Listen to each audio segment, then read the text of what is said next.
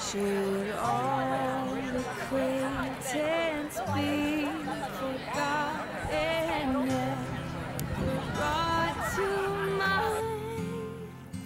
Should all the acquaintance be forgotten?